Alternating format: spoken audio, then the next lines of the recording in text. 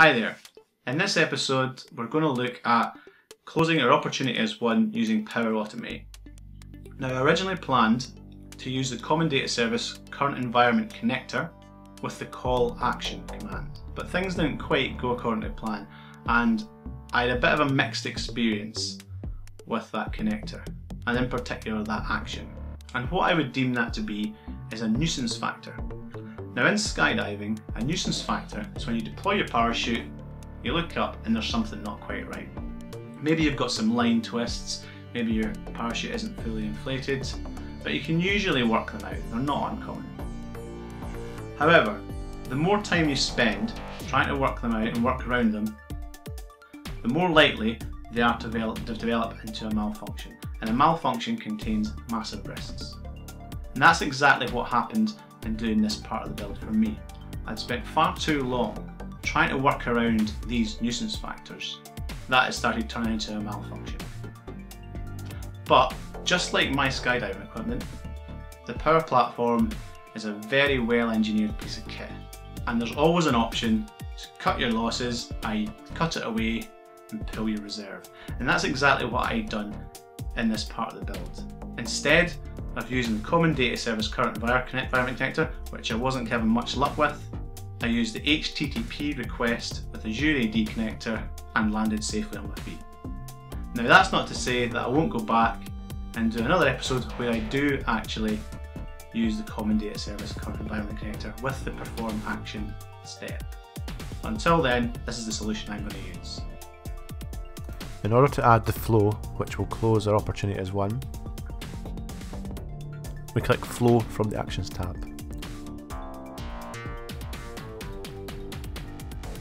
The template we're going to use is the Power Apps button.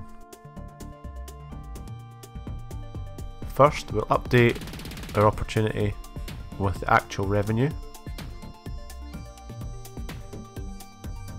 using the update record action from the CDS connector.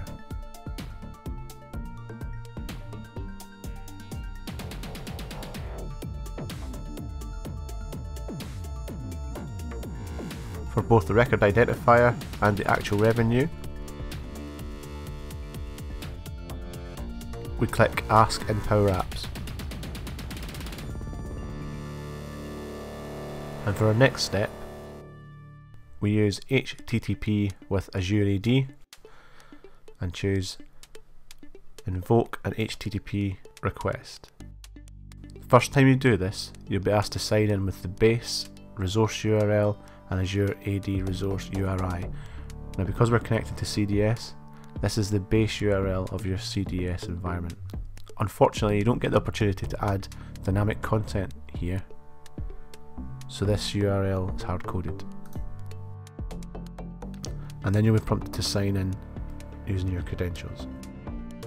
For this example, I'm actually going to use my own credentials, but ideally you'd want to set up an application user.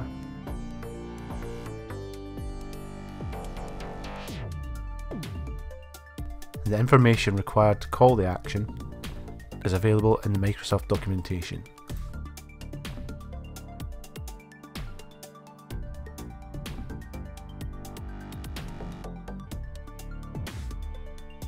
As we can dynamically populate the URI of the request, I find that initializing a variable to hold the base URL works better.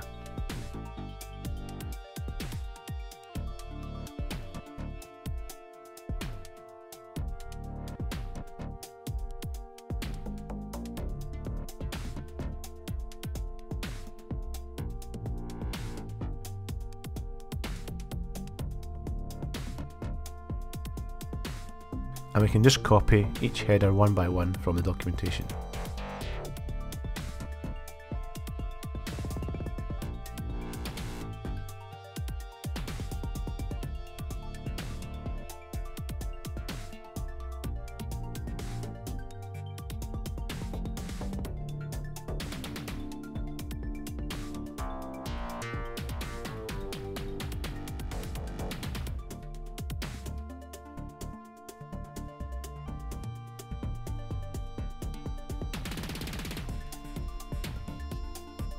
Once we paste the body of the request, we can go back in and replace the dynamic content.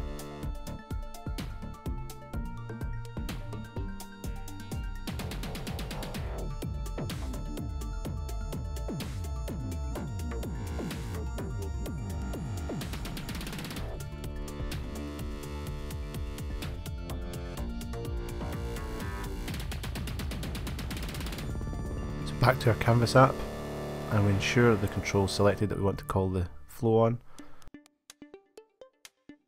and click the flow.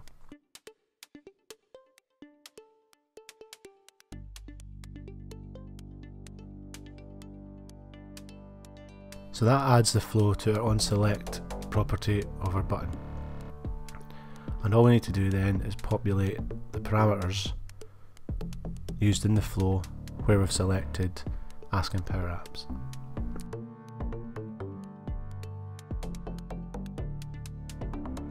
So in this case, we'll put the selected opportunity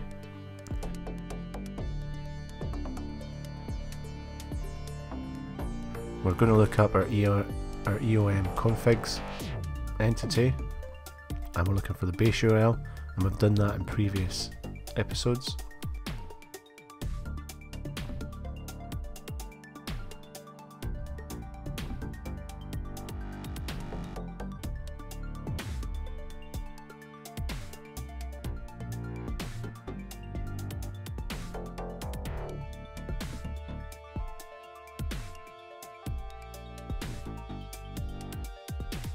And then the actual revenue value comes in the middle.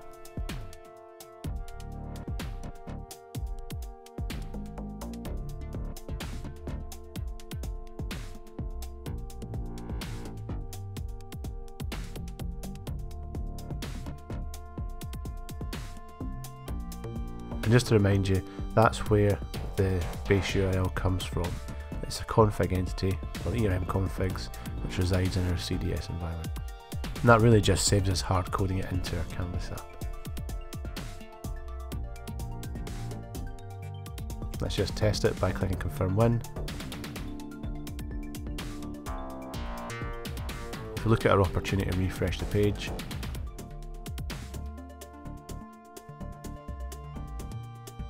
we can see now that the opportunity is won. Go to a view of closed opportunities, the actual revenue has been populated. And if we look back at our flow, we can see that flow has successfully run. So, as I said at the start, things didn't quite go according to plan. I had to use the Power Automate HTTP with Azure AD connector instead of the CDS current environment connector. But in learning how to use those connectors, I probably learned a more valuable lesson. Join me in my next episode where I'll explain another nuisance factor that I experienced and how to work and actually worked around that one and didn't have to pull my reserve.